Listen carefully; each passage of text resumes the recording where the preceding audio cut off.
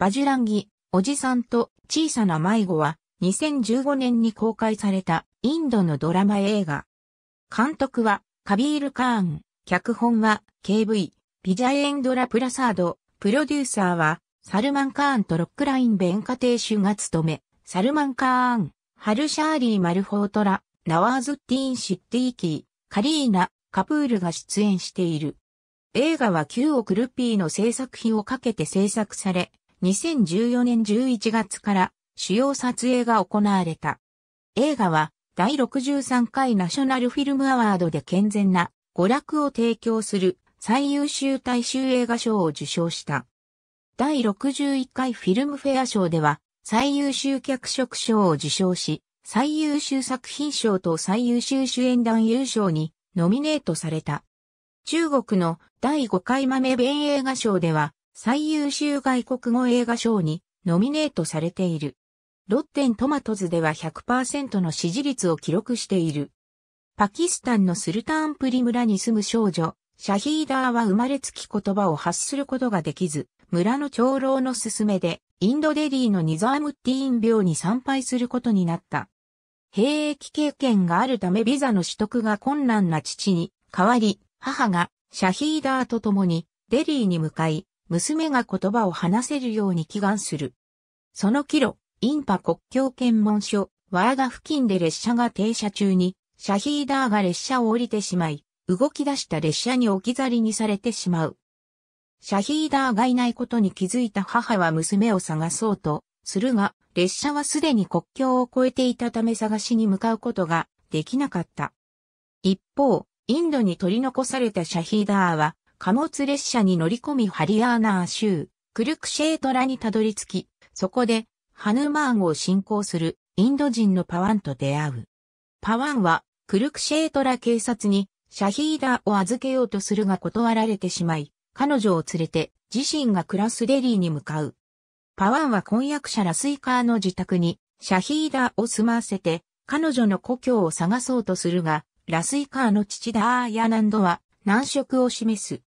ダーヤナンドはラスイカーが縁談を保護にしてパワンと婚約したことを快く思っておらず、パワンに半年の間に自分の力で家の購入費を稼ぐことを結婚の条件として提示しており、シャヒーダーの故郷探しよりも約束を優先するように迫っていた。ある日、街中では、グレタ・シャヒーダーがモスクに入りサラートを行っている姿を目撃したパワンは彼女がムスリムであることを知る。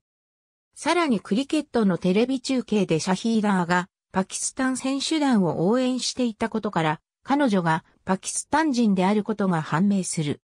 パキスタンを嫌悪するダーヤナンドは激怒し、シャヒーダーをパキスタン大使館経由でパキスタンに追い返すようにパワンに促すが、大使館は反パキスタン暴動の影響で閉鎖されてしまう。困り果てたパワンはダーヤナンドの知り合いの旅行代理店に助けを求め、シャヒーダーを預けて帰ろうとする。しかし、思い直して旅行代理店の男を追うと、彼はシャヒーダーを売春宿に売り飛ばそうとしており、激怒したパワンは男や売春宿の人間からシャヒーダーを取り戻し、自分の力で彼女を両親のもとに送り届けようと決意する。パワンとシャヒーダーは事情を知った密入国業者ボーアリや国境警備隊の協力でパキスタンに入国するが途中で警察にスパイ容疑で逮捕されてしまう。警察署を脱走したパワンは警察署にあったカレンダーの写真が故郷の場所だと示すシャヒーダーに促され、その場所を探そうとする。特ダネ目的で二人を追ってきた TV リポーターのナワーブも事情を知って二人に協力を申し出る。途中、モスクで一夜を明かした三人は、宗教学者、アサドの協力で、写真の場所を探し、シャヒーダーの故郷が、アザドカシミール付近らしいと聞かされる。アザドカシミールに向かう途中、ナワーブは、社長のシャムシェール・アリに自身が撮影した映像を放送して、シャヒーダーの両親を探そうとするが、話題性がないという理由で拒否されてしまう。翌朝、ナワーブは二人が性病に巡礼に行っている間に、YouTube に映像をアップロードして、シャヒーダーの両親を探そうとする。彼がアップロードした映像にシャヒーダーの母が映り込んでいることを知ったパワンとナワーブは彼女が乗っていたバスを見つけ出し、シャヒーダーの故郷がスルタンプリであることを突き止める。しかし、途中で警察の検問に遭遇したため、パワンがおとりになって警察を引きつけ、ナワーブはシャヒーダーを連れてスルタンプリに到着し、彼女は母と再会する。パワンは警察に逮捕され拷問を受けるが、ナワーブの映像を見たインパの人々は、彼の釈放を求め、同時に、クルクシセートラ警察の証言から、パワンのスパイ容疑が事実無根であることが判明する。しかし、パキスタン当局は、パワンをスパイと決めつけ、自白させるように命令する。警察幹部のハーミド・カーンは、当局の命令に反発してパワンを釈放し、ナワーブに協力を依頼する。ナワーブは再び映像をアップロードし、両国の人々にパワンのインド帰国を訴えるため、国境検問所に集まるように訴える。映像を見たラスイカー一家や他の人々は国境検問所に集結し、国境ゲートを開放してパワンを称える。ハーミドに連れられ国境検問所に到着したパワンはナワーブたちと別れを交わして、インド領内に向かうが、両親と共に来ていたシャヒーダーが人々を、かき分けフェンス越しに、ママ、ジャイシュリラムと言葉を発する。パワンとシャヒーダーは互いに駆け寄り、パワンはシャヒーダーを抱きしめる。サルマイカーン・ハルシャーリー・マルフォートラ・ナワーズ・ディーン、シッティーキー・カリーナ、カプール2014年11月3日からニューデリーで主要撮影が始まり、サルマン・カーンとカリーナ・カプールが参加した。次の撮影は ND スタジオで行われた後、ラージャスターン州、マンダワでも行われた。2015年1月7日に、サルマン・カーンがマンダワ砦で少年とクリケットをするシーンが撮影され、10日には、ジュンジュヌ県で学生たちと撮影を行った。撮影は5月20日に終了し、いくつかのシーンはサルマン・カーンの所有する農場で撮影された。撮影はカシミール渓谷のソンマルグとゾウジラに似た場所でも行われ、クライマックスシーンはソンマルグ近くのタージワース氷河で7000人のエキストラを動員して撮影された。ナワーズッディーン・シッディーキーが演じたキャラクターは、インダスニュースのチャーンド・ナワーブからインスピレーションを得ている。脚本家の KV、ビジャエンドラ・プラサードによると、脚本はプービジー・バシャリルからインスピレーションを得ているという。作曲はプリータムが担当し、マユール・プリ、アミターブ・バッタチャーリヤ、ニーレーシュ・ミスラ、サビール・アフメド、カウサル・ムニールが作詞しており、サウンドトラックは11トラックで構成されている。ツジョーミラはシドニーで収録し、スーパーヒットを記録した。映画に登場するカウワーリー、バード・ジョリー・メリアー・ムハンマドはサビール兄弟が歌ったものだが、アドナン・サミーの声に修正されている。これに対し、兄弟の権利所有者である EMI パキスタンとアムジャド、サブリク・アワーリは制作会社に対して訴訟を起こしている。映画はイドアルイコールフィトルの前日である2015年7月17日にインド4500スクリーン、海外1000スクリーンで公開された。海外市場では50カ国で公開されている。10月6日には、不山国際映画祭で上映された。2017年11月に、ランガルキット、強くなるの工業的成功を受けて、中国での公開が決定し、12月に公開日が2018年となることが発表された。中国では、公開前の時点で映画批評サイト豆弁の平均評価が8.6、10、投票数が7万を超えていた。同サイトでは2015年の海外映画ランキング第4位に選ばれている。中国では、勝利一滴猿神大、祝のタイトルで140分のカット版が公開された。同年1月、ランガルキット、強くなる、シークレットスーパースターの工業的成功と、口コミによる人気の高さから、映画が8000スクリーンで公開されることが発表された。2月6日に29都市で公開され、観客から高い評価を得た。2月25日には限定上映も行われた。同月27日のプレミア上映には、カビール・カーンとハル・シャーリーが出席し、現小説の3月2日に一般公開された。日本では2019年1月18日に、バジュランギ、おじさんと小さな迷子のタイトルで公開される。公開初週の興行収入は33億3000万ルピーを記録した。公開31日の興行収入はインド42億6000万ルピー、海外市場17億9200万ルピーとなった。インド国内では興行収入10億ルピーを達成した映画として PK、チェイスの記録を抜き最短記録を更新した。2015年8月にエロスインターナショナルは工業収入が50億ルピー、国内純利益が30億ルピーになったことを発表した。観客動員数は5週間で3520万人を記録し、ゴター、イークプレムコット、PK、きっと、うまくいく、チェイス。家族の指揮から愛すれど、遠く離れての記録を更新した。公開第7週の興行収入は62億6000万ルピーとなった。インド国内の興行収入は2015年8月時点で43億3000万ルピー。海外市場は2017年時点で3090万ドルとなっている。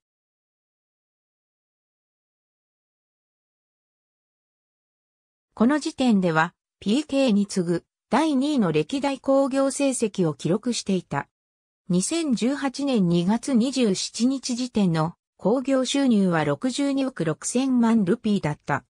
中国での公開22日後には興行収入が90億ルピーを超え、ダンガルキット、強くなる、バーフバリオーの凱旋、シークレットスーパースターに次ぐ第4位の興行成績を記録した。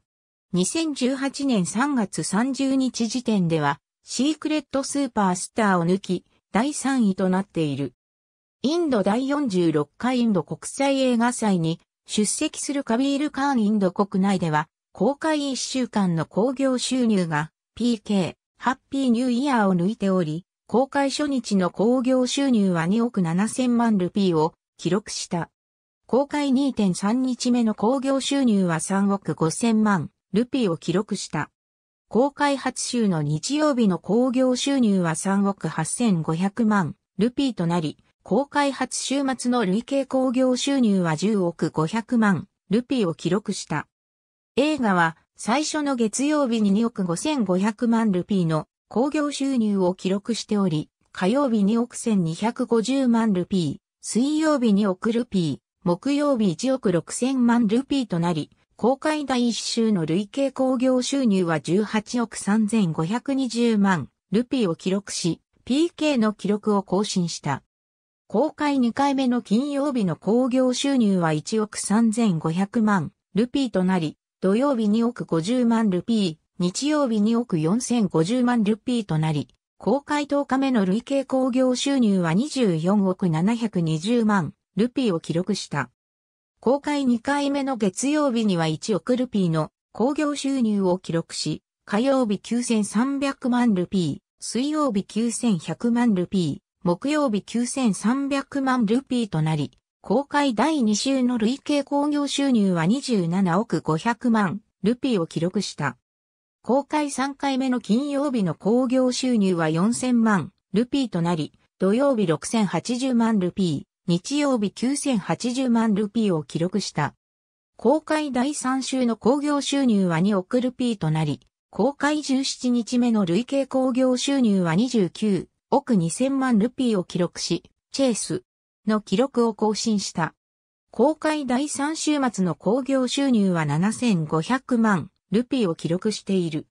公開19日目の累計興行収入は30億600万ルピーとなり、公開第3週の興行収入は3億ルピーを記録した。公開第4週末の興行収入は7250万ルピーを記録している。